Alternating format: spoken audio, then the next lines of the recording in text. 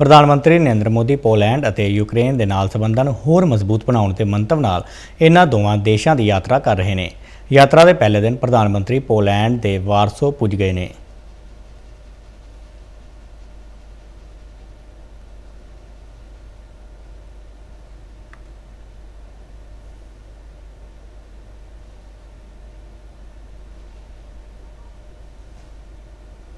ਪੰਤਾਲੀ ਸਾਲ ਬਾਅਦ ਕਿਸੇ ਭਾਰਤੀ ਪ੍ਰਧਾਨ ਮੰਤਰੀ ਦੀ ਇਹ ਪੋਲੈਂਡ ਯਾਤਰਾ ਹੈ ਵੱਖ-ਵੱਖ ਸਿਆਸੀ ਆਗੂਆਂ ਨਾਲ ਮੁਲਾਕਾਤ ਤੋਂ ਬਾਅਦ ਪ੍ਰਧਾਨ ਮੰਤਰੀ ਮੋਦੀ ਵਾਰਸੋ ਵਿੱਚ ਇੱਕ ਭਾਈਚਾਰਕ ਸਮਾਗਮ ਵਿੱਚ ਹਿੱਸਾ ਲੈਣਗੇ ਅਤੇ ਭਾਰਤੀ ਮੂਲ ਦੇ ਲੋਕਾਂ ਨੂੰ ਸੰਬੋਧਨ ਕਰਨਗੇ। ਪ੍ਰਧਾਨ ਮੰਤਰੀ ਮੋਦੀ ਨੇ ਇਹਨਾਂ ਦੇਸ਼ਾਂ ਦੀ ਯਾਤਰਾ ਤੇ ਰਵਾਨਾ ਹੋਣ ਤੋਂ ਪਹਿਲਾਂ ਕਿਹਾ ਕਿ ਪੋਲੈਂਡ, ਮੱਧ ਯੂਰਪ 'ਚ ਭਾਰਤ ਦਾ ਮਹੱਤਵਪੂਰਨ ਆਰਥਿਕ ਭਾਈਵਾਲ ਹੈ ਉਹਨਾਂ ਕਿਹਾ ਕਿ ਭਾਰਤ ਅਤੇ ਪੋਲੈਂਡ ਲੋਕਤੰਤਰ, ਬਹੁਲਵਾਦ ਅਤੇ ਦੋਹਾਂ ਦੇਸ਼ਾਂ ਦੇ ਸਬੰਧਾਂ ਨੂੰ ਮਜ਼ਬੂਤ ਕਰਨ ਲਈ ਵਚਨਬੱਧ ਹੈ ਪ੍ਰਧਾਨ ਮੰਤਰੀ ਨੇ ਕਿਹਾ ਕਿ ਪੋਲੈਂਡ ਦੀ ਉਹਨਾਂ ਦੀ ਇਹ ਯਾਤਰਾ ਦੋਹਾਂ ਦੇਸ਼ਾਂ ਦਰਮਿਆਨ ਕੂਟਨੀਤਿਕ ਸਬੰਧਾਂ ਦੇ 70 ਸਾਲ ਪੂਰੇ ਹੋਣ ਮੌਕੇ ਹੋ ਰਹੀ ਹੈ ਉਹਨਾਂ ਕਿਹਾ ਕਿ ਉਹ ਆਪਣੇ ਦੋਸਤਾਂ, ਪ੍ਰਧਾਨ ਮੰਤਰੀ ਡੋਨਾਲਡ ਟਸਕ ਅਤੇ ਰਾਸ਼ਟਰ ਰਾਸ਼ਟਰਪਤੀ ਆਂਦਰੇਸ ਡੂਡਾ ਨਾਲ ਮਿਲਣ ਦੀ ਉਡੀਕ ਕਰ ਰਹੇ ਨੇ।